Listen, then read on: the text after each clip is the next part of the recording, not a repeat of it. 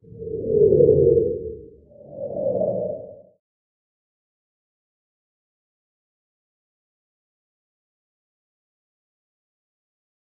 Phraselator P2 is a handheld system. The Squid is a wearable translation system for hands-free, eyes-free use in tactical scenarios when you need to keep your weapon at the ready or keep your eyes on the suspect.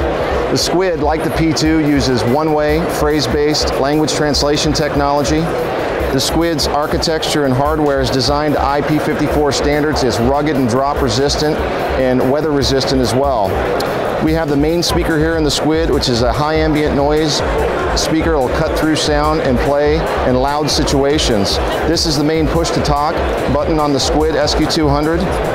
If I flip it over to the back, you can see the available five button keypad standard on the back panel, the two inch LCD screen, that take you through all the various scenarios and categories on the Squid, as well as the phrase list. The Squid also contains two port plugs at the base of the unit.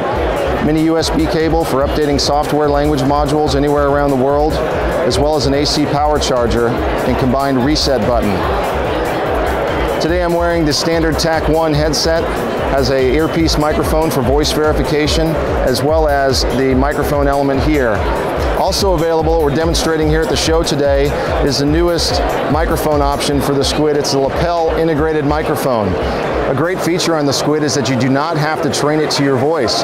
Voxtec has incorporated automatic speech recognition technology. Can I search your vehicle? Do nothing until I tell you.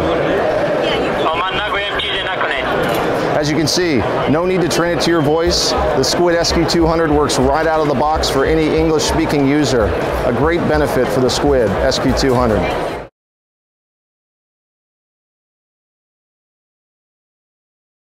you